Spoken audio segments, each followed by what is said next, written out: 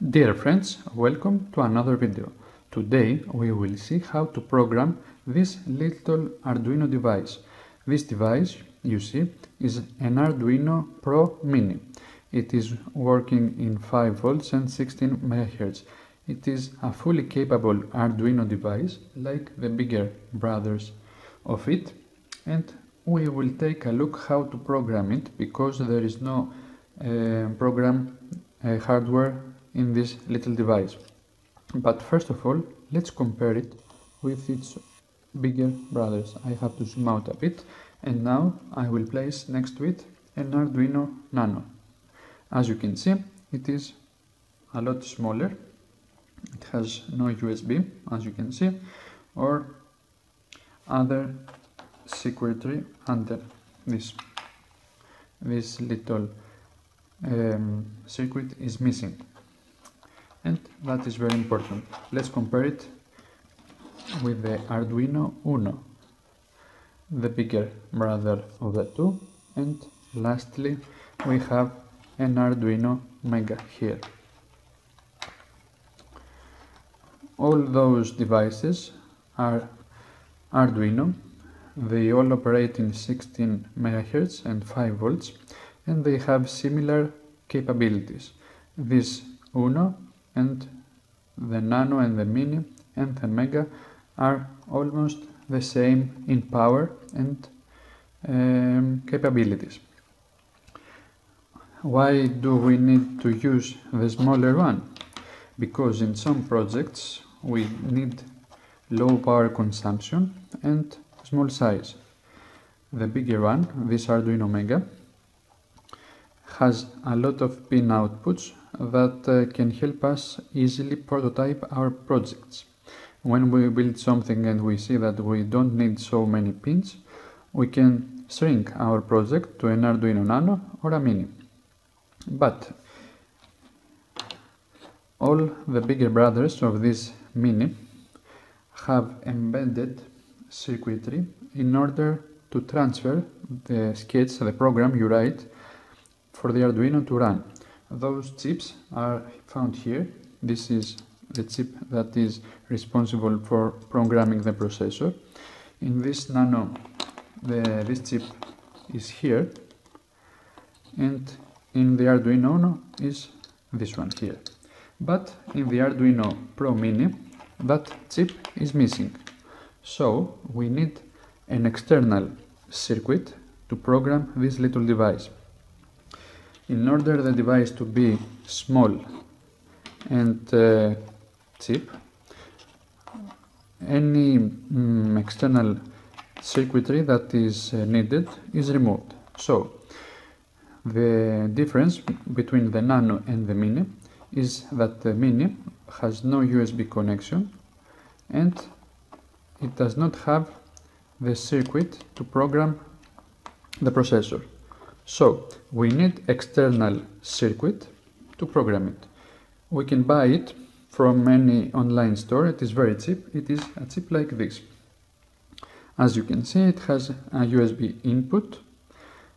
This chip, the FTDI, to program the processor, and the pin outputs.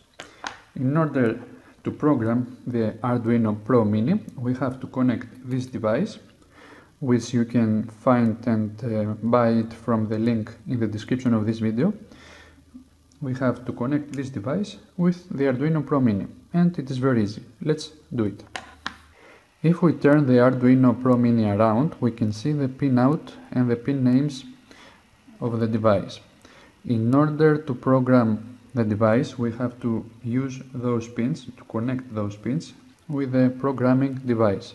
Those pins exist exist here as well. So the first, the DTR here,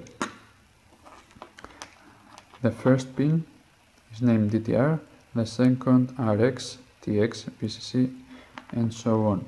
We connect them, we connect them so they match. Okay, DTR goes here. We can connect it like this, or we can use wires like any other project okay now that is disconnected we can plug this in to the computer to power it on via the USB. Okay, we plug this in uh, this way and now the power is on.